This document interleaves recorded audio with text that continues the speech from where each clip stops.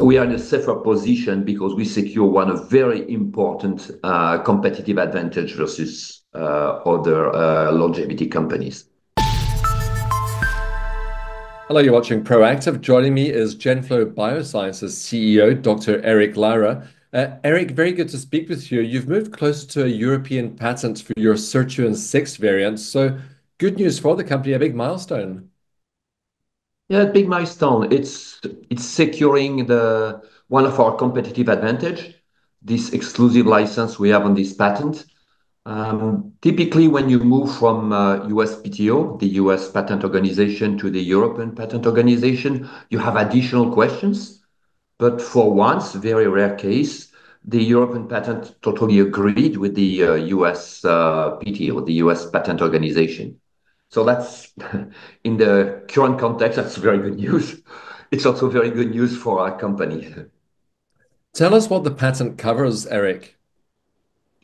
It covers the it's a composition of matter uh, patent. Mostly, it covers the sequence of uh, nucleotide that compose the coding section of the sirtuin-6 gene variant. This variant is a mutation we found, we identified with three U.S. Uh, university, American University University of Columbia, uh, Rochester University, and Albert Einstein School of Medicine. Uh, only we found, we sequenced 1,000 people in a, it's an homogeneous population of uh, Jewish Ashkenazi.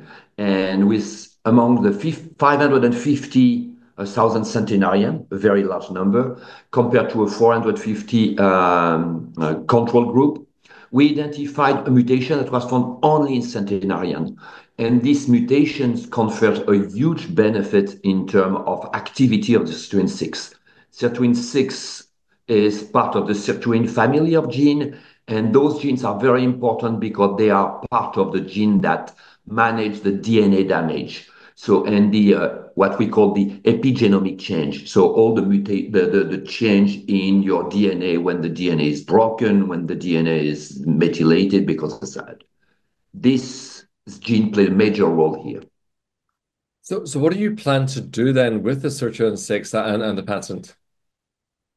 Uh, we use this uh, sirtuin-6 gene uh, variant in multiple indications. As you know, longevity per se is not considered as an indication by any agency, FDA, MHRA, EMA.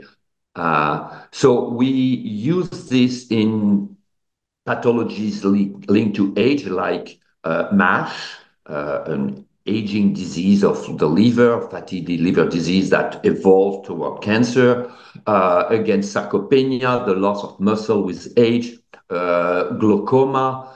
Uh, and uh, we use this, in fact, we, we use these genes using different genes therapy tools to deliver to the right target, to the right amount, without any off-target effect. Uh, but the benefit will be, of course, to increase the health span. Uh, we use it, I mentioned the uh, application in human, but we start also um, a dog study, and that will be an announcement very soon, to also use this gene for life extension in dogs and with an angle on the loss of muscles of aging dogs. Uh, Eric, what are the next steps then as you prepare for that patent? Uh, the next step now is to move to a national phase.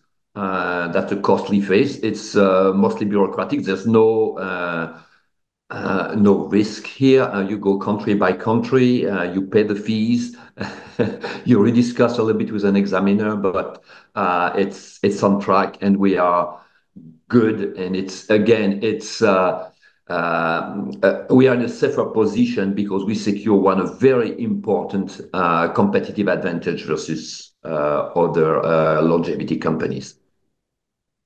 Eric, I hope you'll keep us updated on any progress with that, and I'm sure we'll be chatting about that dog study very shortly.